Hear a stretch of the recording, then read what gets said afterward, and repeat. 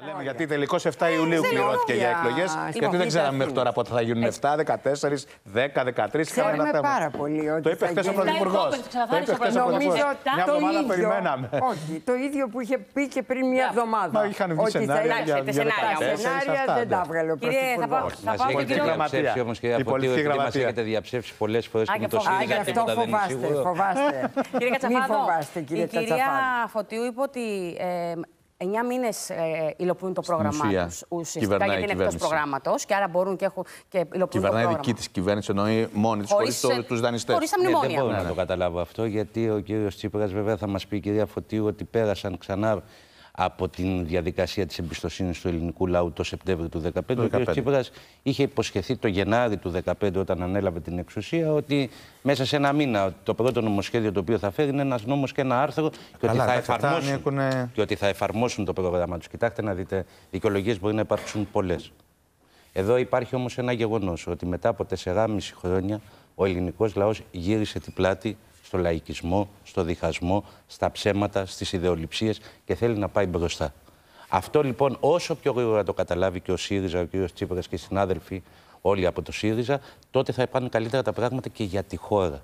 Γιατί μετά τις εκλογές έχουμε έναν ανηφορικό δρόμο να διαβούμε όλοι μαζί και αυτό το οποίο λέει και πρεσβεύει ο Κυριάκος ο Μητσοτάκης είναι ότι την επόμενη μέρα στην Ελλάδα της αξιοκρατίας, την επόμενη μέρα στην Ελλάδα η οποία θα μπορέσει να πάρει την τύχη της χώρας στα χέρια της πραγματικά και στην Ελλάδα η οποία θα μπει στον πραγματικό δρόμο της ανάπτυξης δεν χωράνε αποκλεισμοί και πρέπει όλοι μαζί Κύριε να μπορέσουμε Χριστίδη. να παλέψουμε γι' αυτό. Κύριε Χριστίδη, θέλω να σας κάνω και μια ερώτηση. Τελικά, τι είναι ο- το κοινάλ, ουρά του Κυριάκου Μητσοτάκη ή ουρά του ΣΥΡΙΖΑ; Έχω μπερδευτεί με τις ουρές, να ξέρετε λίγο.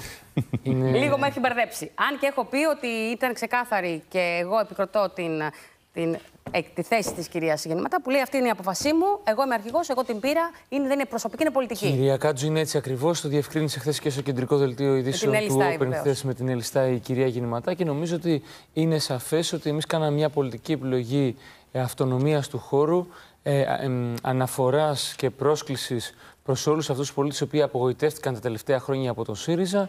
Και θέλω να πω ότι αν αυτό το οποίο λέει η κυρία Φωτίου είναι έτσι, για του 9 μήνε, τότε η κυβέρνηση του Πασόκ του Γιώργου Παπανδρέου κυβέρνησε τη χώρα 4 μήνες.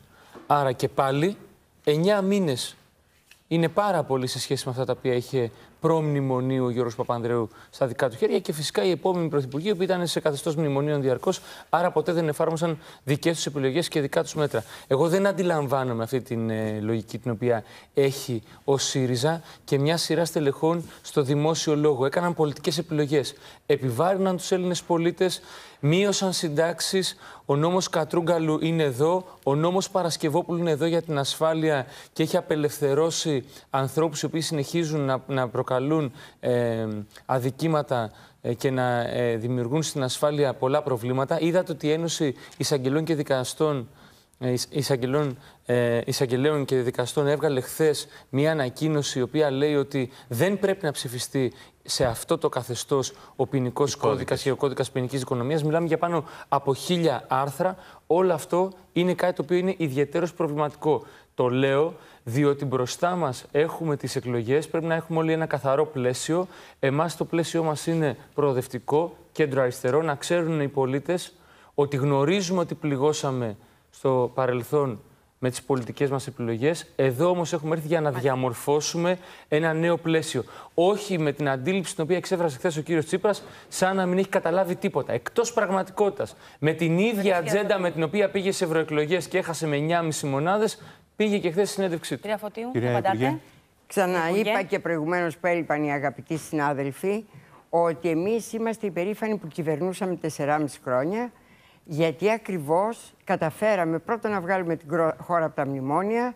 Δεύτερον, καταφέραμε να μην κόψουμε επιδόματα για τους ανάπηρους και για τα παιδιά που ζήταγε η Τρόικα και τα είχαν προαποφασιστεί.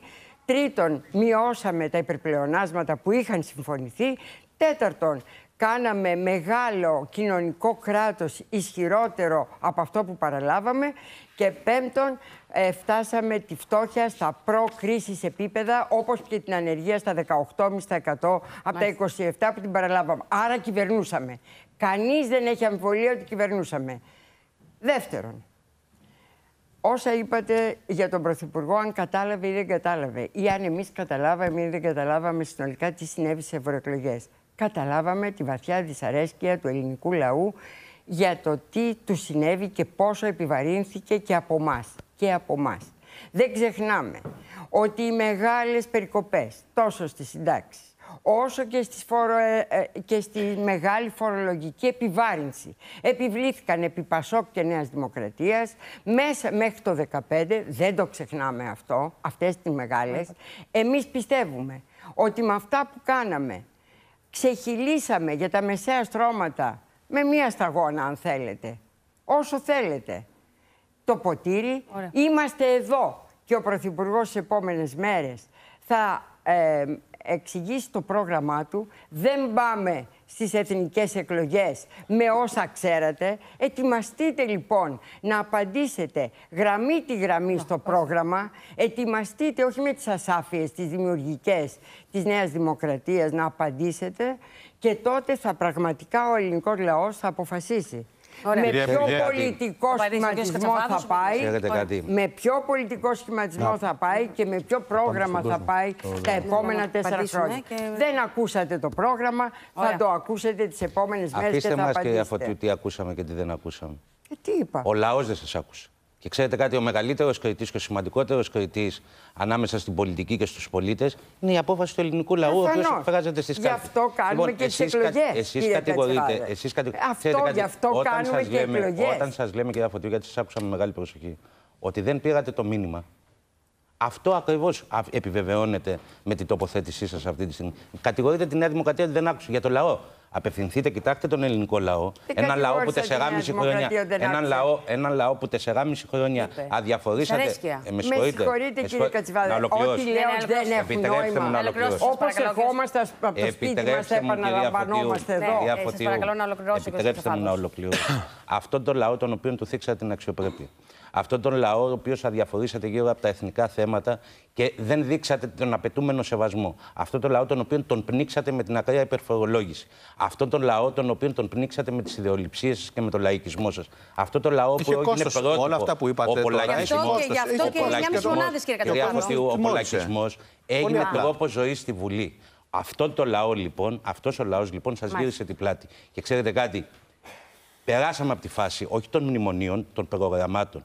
Γιατί η χώρα βρίσκεται υπό σκληρή επιτήρηση δημοσιονομική και το ξέρετε πάρα πολύ καλά. Γι' αυτό μαρτυρά και η έκθεση η οποία θα ανακοινωθεί σήμερα. ανακοινώνεται η έκθεση. Αυτό μαρτυρά και η έκθεση, κυρία Φωτιού, η οποία θα ανακοινωθεί. Έχουμε επιβράδυνση της οικονομίας. Μια έκθεση η οποία επιβεβαιώνει τι; Μια έκθεση η οποία επιβεβαιώνει.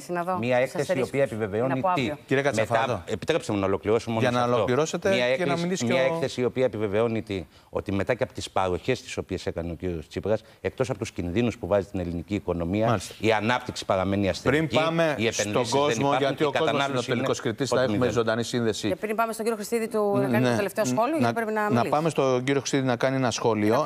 Και μετά να πάμε στον κόσμο. Κύριε Χριστίδη, αντιπαράθεση προγραμμάτων στην ουσία, γιατί η παροχολογία πια φαντάζομαι δεν έχει νόημα. Ναι, βέβαια, έτσι είναι ακριβώς και νομίζω ότι κρίθηκε και η παροχολογία του κυρίου Τσίπρα. 1,5 δισεκατομμύρια επιχείρησε να δώσει πριν τις εκλογές και το αποτέλεσμα ήταν αυτό το οποίο είδαμε όλοι. Σε κάθε περίπτωση θέλω να πω ότι εδώ υπάρχουν ε, τρεις διαφορετικοί κόσμοι. Υπάρχει ο κόσμος της Νέας Δημοκρατίας, ο οποίος πιστεύει ότι μπορεί να κρύψει τα προβλήματα κάτω από το χαλί, καθώς και το ιδεολογικό του πλαίσιο. Εμείς έχουμε πολύ μεγάλες διαφορές από αυτά τα οποία προτείνει η Νέα Δημοκρατία. Άρα όλο δεν θα συνεργαστείτε, κύριε Χριστίδη, αν Θα σας απαντήσω συνέχεια. Δεύτερον, υπάρχει ο κόσμος του ΣΥΡΙΖΑ και ειδικά της ηγεσίας του ΣΥΡΙΖΑ. Αυτοί που ήρθαν ως αριστερά και εφάρμοσαν ένα ακραία ε, συντηρητικό πρόγραμμα το οποίο χτύπησε τη μεσαία τάξη. Θυμίζω ότι η κυρία Φωτίου, και καταλαβαίνω ότι δεν είναι προσωπικό το ζήτημα, είναι πολιτικό το ζήτημα γιατί εκεί κατέληξε. Έλεγε ότι η μεσαία τάξη είναι αυτοί οι οποίοι περίπου θα βγάζουν 6.500 ευρώ το χρόνο. Αυτό Πού το είπα είναι αυτό, μία. Κύριε, είναι, το έχετε Χριστια, τα, προηγούμενα ε, χρόνια, τα προηγούμενα χρόνια. Πού με ακούσατε; Υπάρχουν βίντεο δικά σας σε όλο, σε όλο είπα, το διαδίκτυο. Είπα σε όλο αυτά το διαδίκτυο. Που μας παραδώσατε από τη μεσαία Κάνετε λάθος. Γιατί εμείς σας παραδώσαμε μια οικονομία η οποία είχε μικρά, πλεο, είχε μικρά πλεονάσματα.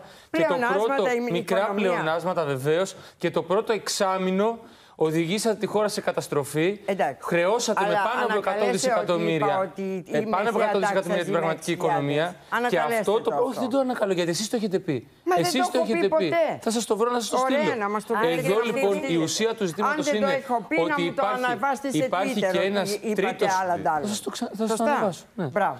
Λοιπόν, και υπάρχει ένας τρίτος κόσμος, ο κόσμος της πρόοδου, ο κόσμος του κοινωνικού κράτους, ο κόσμος της μείωσης των ασφαλιστικών εισφορών και της φορολογίας, Μάλιστα. ο κόσμος της ασφάλειας. Αυτόν τον κόσμο εκφράζει το κίνημα αλλαγής, έτσι όπως εκφράστηκε τα προηγούμενα χρόνια από το Πασόκ και έτσι όπως θέλουν να το εκφράσουμε νέοι άνθρωποι, οι οποίοι είμαστε στην πρώτη γραμμή των εξελίξεων. Θα συνεργαστείτε Αυτή- και, τε- μια, και τελειώνουμε. Θα συνεργαστείτε με τη Νέα Δημοκρατία αν χρειαστεί.